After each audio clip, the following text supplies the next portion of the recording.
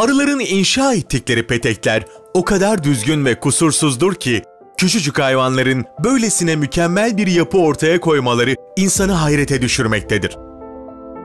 Tüm petekler çok düzgün altıgenlerden meydana gelir. Peki sizce arılar altıgen bir petek inşa ederken neleri göz önünde bulundurmaları gerekir?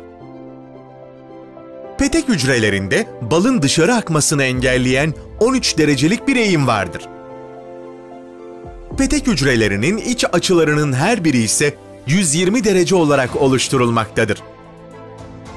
Eğer yerle olan açının doğru ayarlanıp iç açı doğru ayarlanamasaydı o zaman da petekte bozukluklar meydana gelirdi.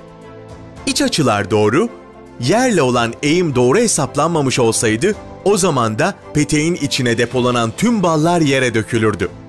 Peki arılar petek hücrelerinin bu 13 derecelik eğimini ve 120 derecelik iç açılarını gönye ve cetvel kullanmadan nasıl hesaplamışlardır? Bir mühendisin bile hesaplamakta zorlanacağı bu hassas değerlere nasıl ulaşmışlardır? Ellerinde bir plan yokken petek inşaatını yukarıdan görüp onları yönlendiren bir şantiye şefleri olmadan en kabiliyetli ustaları bile gölgede bırakacak şekilde kusursuz bu petek inşaatını nasıl yapmışlardır?